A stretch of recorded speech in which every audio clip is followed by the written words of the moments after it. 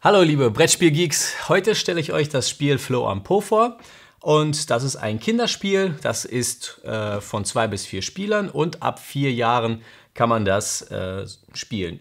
Das Spiel ist relativ einfach und schnell erklärt und die Regeln, die zeige ich euch jetzt hier. Ja, Flo am Po ist relativ einfach erklärt und relativ schnell erklärt. Wir haben insgesamt äh, vier Hunde und sechs Flöhe, die jeweils hier so ähm, an dem Hund haften. Ja, mit so äh, Klett.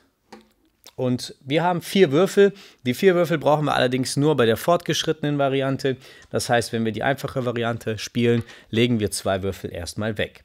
Wenn wir mit vier Spielern spielen, nehmen wir alle vier Hunde, mit drei jeweils nur drei und so weiter. Auf jedem Hund muss am Anfang ein Floh sitzen und zwei Flöhe, die übrig bleiben, oder drei je nachdem, liegen in der Tischmitte. Jetzt fängt äh, der Spieler an, zu, äh, zu würfeln. Und äh, wir haben hier ja noch diesen, diese Wegefelder. Die kann man auch beliebig erweitern. Ich habe jetzt hier nur die Hälfte der Felder rausgelegt. Die anderen Felder habe ich in der Schachtel gelassen. Somit haben wir jetzt einen mittleren Weg und das Spiel, das Spiel dauert dann nicht ganz so lange. Ja, man kann also hier die Länge des Spiels auch variieren. Jetzt würfelt der erste Spieler und sagen wir mal, ich bin jetzt der rote Hund und ähm, ich habe jetzt folgende Farben gewürfelt, einmal lila und einmal blau. Hätte ich, ähm, ja, jetzt nehme ich mir praktisch von dem Hund, der blau ist, den äh, Floh weg und äh, papp ihn bei mir dran und den lila Floh, den klaue ich auch praktisch bei dem anderen Hund und papp ihn bei mir dran.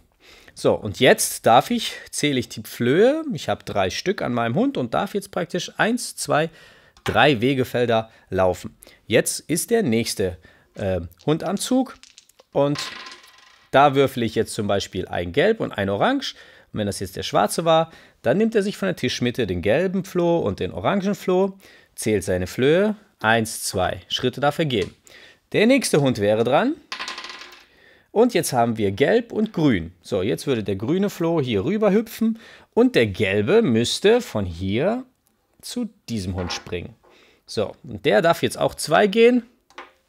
So, und jetzt der nächste als Beispiel. So, jetzt haben wir grün und orange.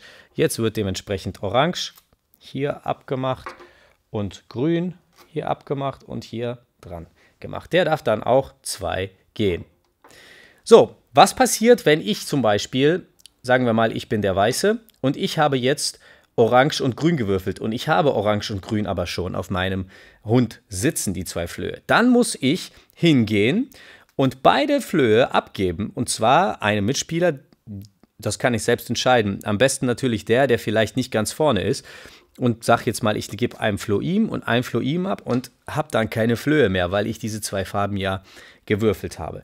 Habe ich also ein Grün und ein Gelben gewürfelt und hätte hier ein Grün und ein Orangen zum Beispiel drauf gehabt, dann muss ich nur grün abgeben und gelb darf ich mir dann von dem anderen Mitspieler nehmen und hätte somit hier wieder zwei und dürfte zwei vorgehen. Das sind auch schon die einfachen Regeln.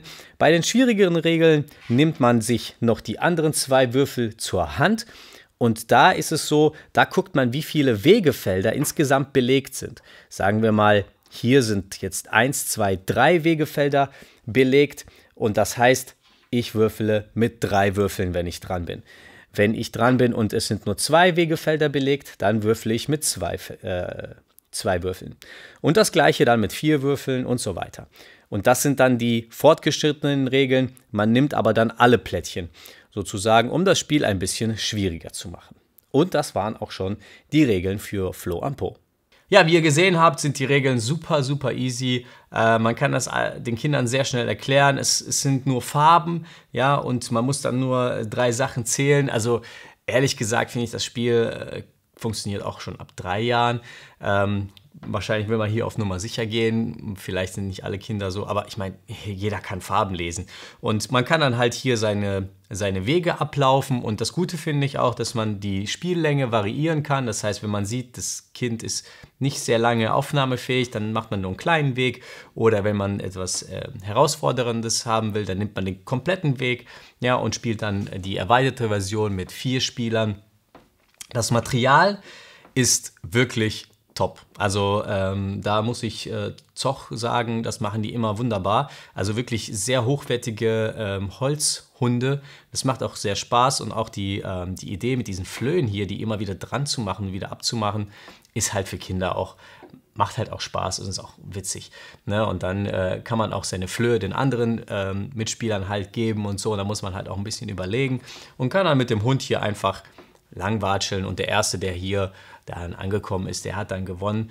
Ähm, das Spiel ist für Kinder voll in Ordnung. Man kann damit wirklich ähm, seine Zeit vertreiben. Es dauert insgesamt 15 Minuten. Ich glaube, das ist auch, äh, ja, wenn man mit vier Spielern spielt, mit vier Kleinkindern, sage ich mal, oder mit drei Kleinkindern und ich als Erwachsener dabei, dann dauert es vielleicht ein bisschen länger als 15 Minuten, aber es ist trotzdem sehr schnell gespielt und man würfelt relativ schnell und kann die, äh, kann die Flöhe sozusagen immer hin und her hopsen lassen. Ähm, mein Kritikpunkt an diesem Spiel ist, die Spieleverpackung ist mega groß. Ja, also das hier, das kriege ich alles auch in eine viel, viel, also Minimum die Hälfte wenn nicht sogar kleiner, kriege ich alles genau da auch rein. Also ich denke, das ist so ein bisschen äh, vielleicht Verkaufsstrategie, würde ich sagen, dass das eine große Packung ist und man denkt, da ist viel drin oder so. Aber es ist halt total unpraktisch, das mit in den Urlaub zu nehmen. Ich würde nie so eine große Packung mit in den Urlaub nehmen für die Kids. Ne, es wäre viel besser, wenn das in so einer kleineren Packung drin wäre. Also ich denke, wenn ich das Spiel mit in den Urlaub nehme, packe ich mir alles in eine, eine Tüte rein. Aber ich werde nicht mal nicht die Packung mitnehmen. Das ist mein einziger Kritikpunkt. Ansonsten das Spielmaterial ähm, gute Qualität und das Spiel an sich auch sehr zu empfehlen. Es äh, ist sehr schnell erklärt, äh, keine komplizierten Regeln, jedes Kind versteht das sofort, also von uns äh, ein empfehlenswert. Und äh, ja, vielen Dank fürs Zuschauen, liebe Brettspielgeeks, und bis zum nächsten Mal. Ciao!